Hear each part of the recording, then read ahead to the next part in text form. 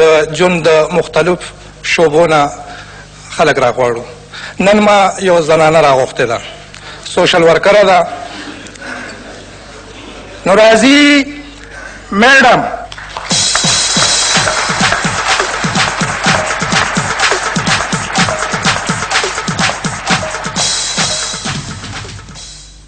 د تاسو نه یو سوال کوم چې تاسو اکثر زمونږ د کلیوالو زنانو د پاره ډیر د خیر ښېګړې کارونه کړي دي نو هغه کوم داسې کارونه دي جی زمونږ په کلو کې اکثر ښځې چې کوم دي هغه بې تعلیمه دي جی نو موږ هغې ته کور په کور ګرځو ایجوکیشن ورکوو ښه جی ایجوکیشن مطلب دی چې تعلیم ورکوئ جی جی هغه کوم تعلیم دی جی ګوره جي لکه زمونږ خويندې دي نو نن سبا سپيا کې دوه قسمه دي هغه هم په زړه طریقه باندې په دیوال باندې تپی نو موږ سره دوه قسمه سپیا کې دي ها ها ها جی نو هغه کوم دوه قسمه سپیا کې دي جی یو پتیره سپیا کې ده یو خمبیره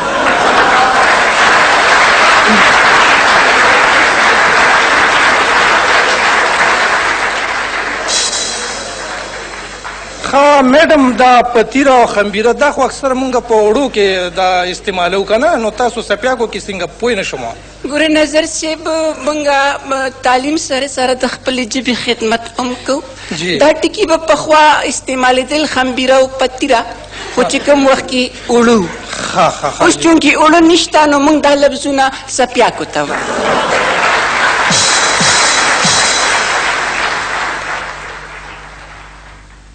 زه دا وایم جی چې د دې نه علاوه تاسو کوم قسم ایجوکیشن یا د خیر ښېګړې کارونه کوئ د دې نه علاوه د دې نه علاوه خو موږ خویندو ته دا پیغام هر وخت ورکوو چې سادګي اختیار کړي نه هغه خو ښکاره خبره ده تاسو بل اصل زمونږ بل مقصد دی ما بل پروجیکټ په امریکا کې هلته کتلو چې زمونږ دلته کلیوالې خویندې چرګې وساتي هګۍ واچي تسخا شي او جی دا خو کیږي اکثر ګرمي نو دې لپاره موږ هغه ته ایجوکیشن ورکو چې خیر دی خويندو تاسو په خپل پکې چې کوټه کې اوسېږي خو چرګو له پخه کوټه جوړه کې صحیح او هغه کې وته ایر کنډیشن او لګوي داسې به اګیم بچي او بچي بم بچي دی لاله مطلب دا دی چې چرګو ته په کمرو کې ایر کنډیشنونه لګي جی جی جی ها ها ها دا خو ډیره خبره او سادهګۍ باره کې تاسو څه ویل نو زه خویندو ته ویم چې د چیټ جامې اچي جی په زار عام استعمالي د پلاستیک نن سبا راغلي دي او جی او چې ډېر زیات نخري پخري نه کی نظر صاحب دا هر څنګه ښکاري ډېر ښه دی چې دا ما د امریکا نه راځي نه ډېر ساده ساده ښکاري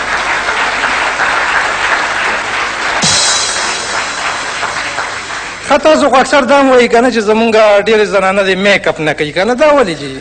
نو اصل کې د میک اپ سامان چې کوم دی هغه زمونږ د غوړو نه جوړیږي د غوړو نه څنګه سم هغه ورځ نظر سي تاسو په خدای کې نو کې په کمر یا می دړ شو دا کمر یا څه شي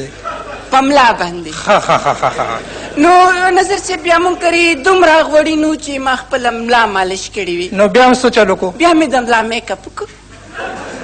ښه د ملا میک اپ ځکه چې هغې کې غوړي وو جی جی ښه ښه تاسو زمونږ خویندو ته